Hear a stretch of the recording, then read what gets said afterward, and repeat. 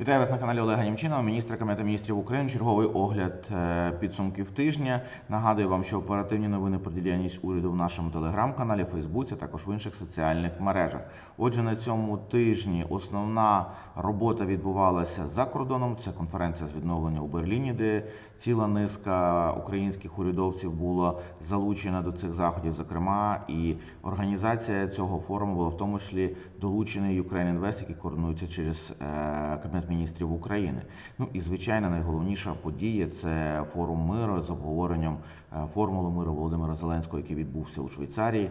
Це хороша робота, яка була зроблена всією командою на чолі з президентом. Е, Щодо поточної діяльності, хочу відзначити документ, який ухвалено на засіданні уряду, розроблений фондом державного майна, який дозволить фактично е, використовувати в законодавчому полі державні землі, які є в управлінні фонду державного майна. Слава Україні!